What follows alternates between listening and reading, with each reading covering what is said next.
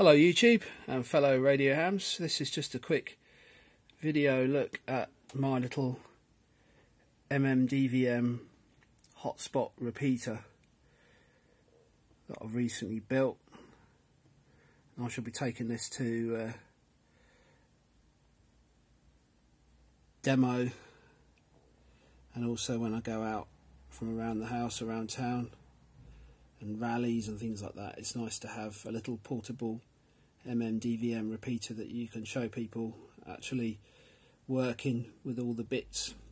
It's built inside one of my favourite little boxes. It's an old Pye receiver, probably dated from 1977, somewhere around there. There's a date stamp on the on the inside, so that's uh, no carbon dating required. Let's have a quick look inside. Uh, so we've got a Raspberry Pi 2 here, USB uh, Wi-Fi uh, just going out the back here to a little dongle antenna. Now, the, the sort of business part of this repeater is an MMDVM hotspot board here. So we've got the receiver and the transmitter. So it's a pair of ADF 7021s. And what I've done is I've actually built around the board some cans, some using bits of PCB and bits of uh, um, well this is aluminium foil and, and, I found some copper stuff which I thought looks nicer so I used the copper foil but they're screened as best as I can basically to stop the transmitter from getting into the receiver. Um, the board is uh, the ground plane of this is is grounded down to the chassis of the case and I've added a little bit of extra decoupling on the power supply for that as well.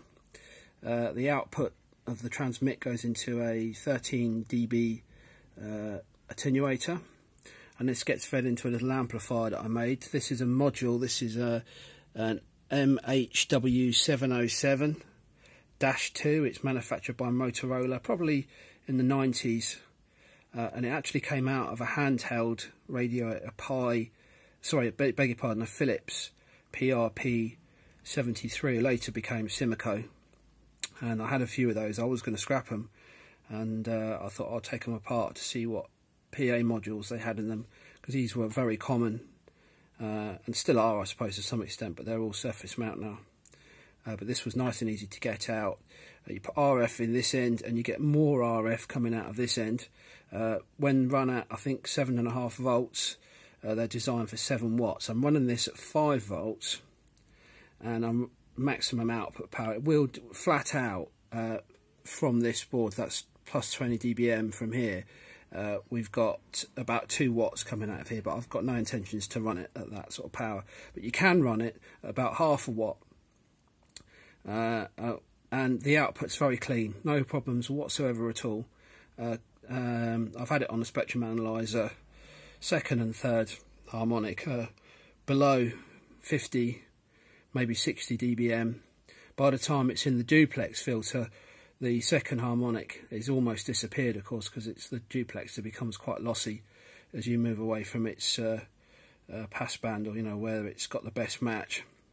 So it's quite safe to put on the air. It's not recommended at all uh, doing this, but just for a demo repeater of something to use for myself under sort of controlled conditions. It works well.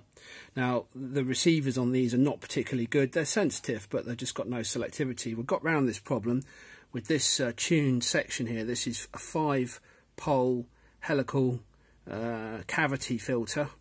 Yeah, there's some gain, there's a little amplifier between each of the stages, and this was this this this filter actually came out of this Pye receiver.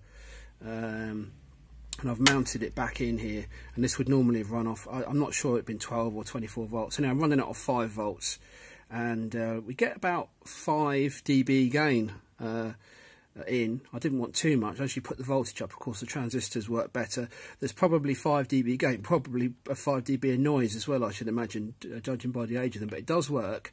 It's about a meg wide if you take the 3 dB points uh, so it's not perfect, but it's quite good. And on the respect of you can put this um, on the air, connected to an outside antenna, and it gives very good performance. I mean, it's almost as good as a proper MMDVM, you know, a proper, you know, commercial transceiver um, uh, in this arrangement. Um, but just for a little sort of throw in the boot in the car repeater, it works very well. Now there's a lid that goes on top of here, and there's a duplex filter, and obviously a common antenna port, and it works very well. I'd say just connected to the to the area on the roof of the house, I can get about five miles range uh, with the mobile in the car and a couple of miles range. I can certainly get all the way down into the town centre with just a, a couple of watts on a handheld and uh, it works very well. I've been very pleased with it. Anyway, there you go. I just thought you'd be interested in seeing this, give you some ideas if you were thinking of having a go at making this kind of thing yourself. Uh, just looking at the front here, just quick, we've got the 16 by 2 LCD screens and got a couple of indicator lamps here. Um, these are not original off this, but they are probably period to the uh, type lights. These would have had uh, bulbs in them, but I've taken them out and replaced them with um, LEDs. Uh, I'm just going to just see if I can quickly key up on something. It's waiting for my radio to fire up. Uh, there you go. So there's your receive and your transmit LED. Ah, it looks kind of groovy.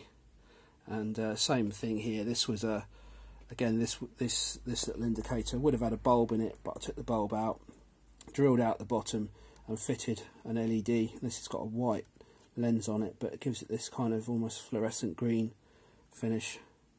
Sort of modernises it a bit, I suppose, but I kind of like the sort of retro look of this Pye base station. So there you go. I hope you enjoyed watching my Pye, P-Y-E, MMDVM repeater. Thanks for watching.